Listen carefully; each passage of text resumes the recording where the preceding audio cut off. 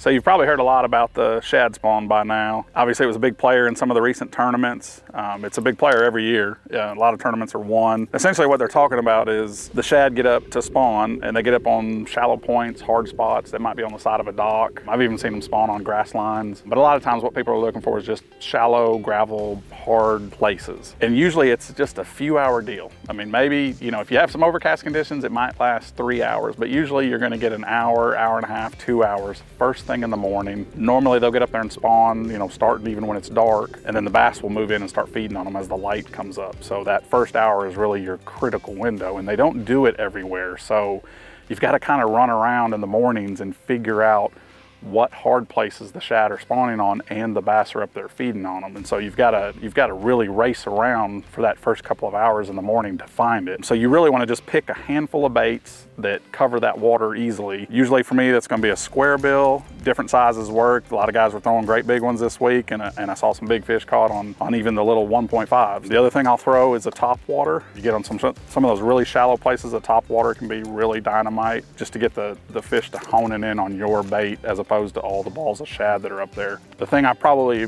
gotten used to throwing the most is a swim bait. I like a, a weedless rig. That lets me throw it around docks, throw it on hard points, throw it shallow, throw it a long ways, cover a lot of water, but it's got a lot of action and, and it seems like that's something the fish have really started to key on. That's been a big player for a lot of people in tournaments in the last few years. But the, the age-old standby is probably the spinner bait. And a lot of people don't even know they're fishing the shad spawn. This is probably the easiest bait that will tell you you're fishing the shad spawn. You'll be retrieving the spinner bait back, the blades are spinning, and when you're reeling it back, you'll have four or five shad around the blades of your spinner bait. That will tell you you are on a shad spawn. So the spinner bait is probably the thing I would recommend to people the most. It's super easy to fish. You know, get you a half ounce spinner bait, one you can throw a long ways and just run around and hit as many points as you can in that first hour of the morning. The shad spawn's basically gonna happen once the water gets over 65 degrees every full moon after that, the shad are gonna spawn. If you've got that coming up, if you've got a tournament coming up, you're out fun fishing, you know you're on a full moon, run around that first hour in the morning, hit a lot of hard rocky places, uh, boat docks, places where the shad can get up and roll and, and get their eggs off and, and look for bass that are chasing them. So spinnerbait, top water, crankbait, and a swim bait's